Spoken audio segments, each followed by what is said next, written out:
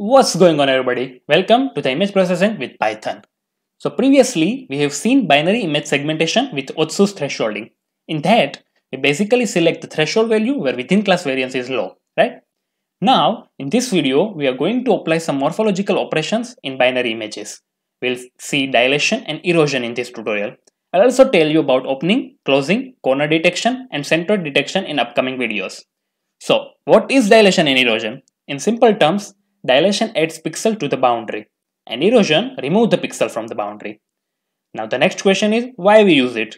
So dilation helps to make object more visible and it also helps to fill the holes if present in the image. While with erosion, we can break the connectivity between two objects.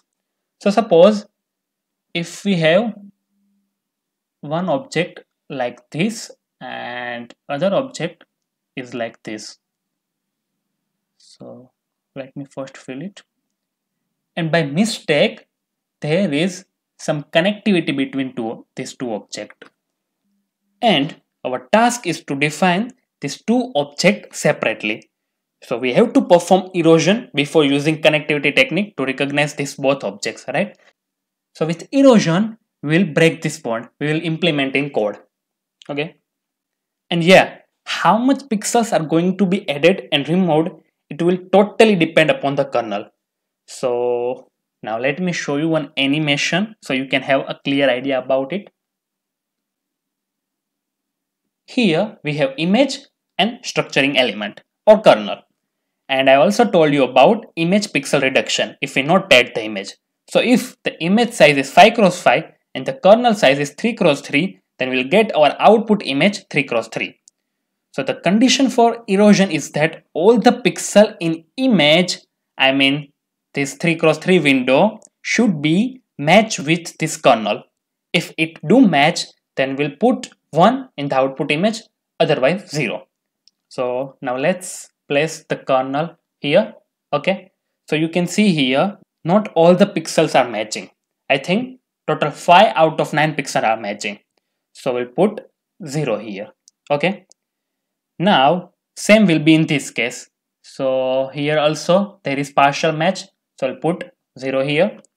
But now you can see that all the 9 pixels in the image are matching with kernel.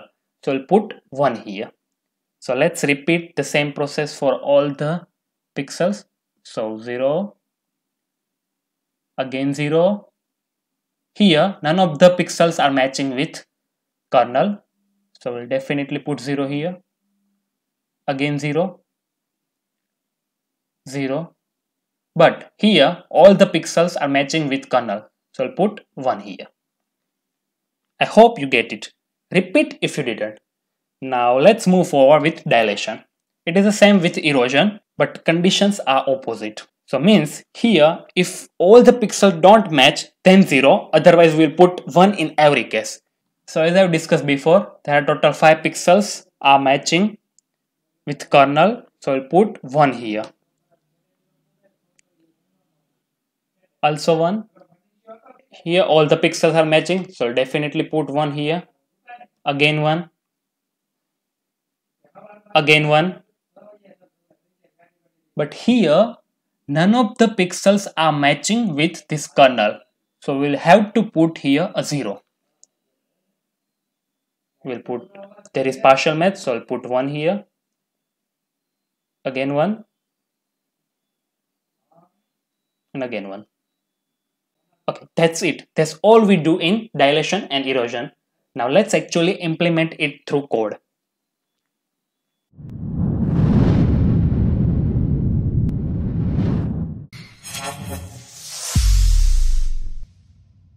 So first import necessary libraries so import numpy as np and from cv2 import cv2 okay now let me show you the image which i'm going to use for the erosion operation. So let's define original variable write cv2.imread and the image name is erosion.jpg and let me show you the image. So the figure name is original and the variable is original. And let's write cv2 dot wait key so whenever i press the zero all the figure window will be closed. So let's hit the run button. So you can see that there are two objects this and this and there is connectivity between these two objects. So at the end of the erosion we'll see that this all connectivity will be removed. Okay? Now the image is three channel okay and we are going to perform a binary operation. So we need to convert this three channel to one channel and then gray to binary right? So let's first convert into a gray. So let me comment this first. And write gray is equal to cv2 dot convert color. Okay the image name is original and write cv2 color bgr to gray. Okay. Now we have successfully converted our three channel image to one channel. Now let's convert it into a binary. So there is two options so you can use Otsu's thresholding or you can define a manual threshold value for binary conversion so i'm going to define a manual threshold value. So write thresh and this is our image binary. So cv2 dot threshold. The image name is gray. Threshold value I will define 127 total value 255 and write method cv2 dot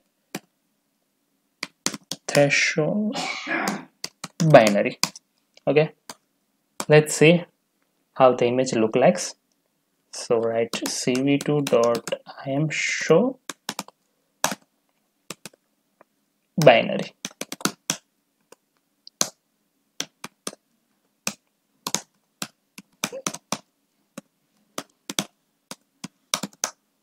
Okay so this is the original image and this is the binary image. You can see that there isn't any changes but the array was three dimension array but this array is one dimension array okay? Now let's define a filter shape okay? So i'm going to define 7 cross 7 filter. So filter is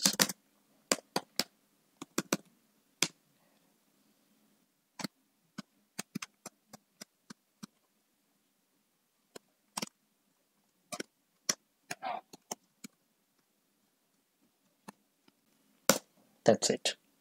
Now let's define the shape of the image and the shape of the filter because we will need it. So write s is equal to binary dot shape and f equal to filter dot shape. Okay? So let me change it to bna bna okay so as i told you we are going to match this kernel with the image but the image is in form of 0 or 255 right? So we need to convert uh, range 0 to 255 to 0 to 1 okay so how will do that? Simply write binary divide by 255 that's all. Okay? So as i told you earlier if we do not pad the image the output of the image will be reduced by some pixels. So i've already discussed uh, how to do a zero padding in my mean median and mode filter video. So if you haven't watched that video go and check out. So let's define the size of the output image. I've already discussed this part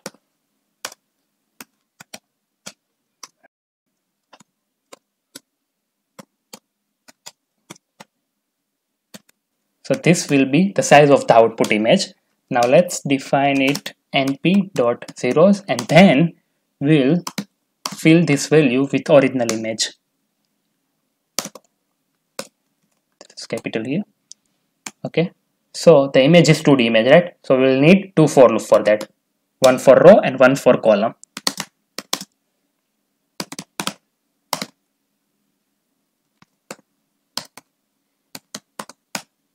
and other for column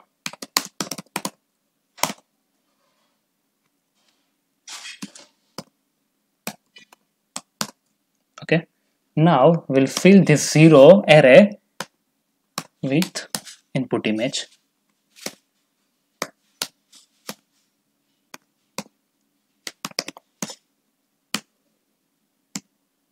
So the only thing we did here is padding the image. Okay now we have our padded image which is n okay? Now let's again run the to for loop for 2d image.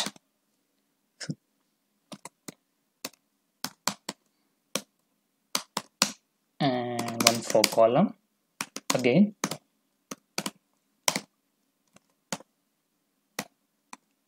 Okay now we'll select the window size from the image here like this. We'll select the window size from the image okay? So if the image so if the kernel is 7 cross 7 in this case it was 3 cross 3 so we have selected 3 cross 3 window size. But in our case we have 7 cross 7 uh, filter right? So we'll select a 7 cross 7 window from the image okay? So let's say the window is k okay? And the padded image is n and from i to i plus the filter size. Means the filter size is 7 cross 7 so we are going to select a 7 cross 7 window size right? So right here i to i plus filter size. Okay? And same for j. J to j plus f1 okay? So here we have selected a window now we are going to compare the window with our kernel. So let's say result is equal to k double equal to filter. Okay? So here we'll get the answer in term of true or false. So if all the values are true we'll put 1 otherwise 0 okay? So let me define final so if np dot all result is equal to true okay? So this array will be in terms of true and false. So if final then binary ij will be 1 else? Binary ij will be 0 let's see the binary image. So cv2 dot im show final image and the binary image and write cv2 dot write key 0 okay and let comment this part also. Okay so here we have binary. Okay let's hit the run button. So as you can see here the connectivity between two objects is removed. And I also told you that in erosion the boundary pixels reduced in some amount. So here you can also see the hole is bigger compared to before. That's all for erosion now the same thing will do for dilation. Okay? So the only change is okay first let me change the image.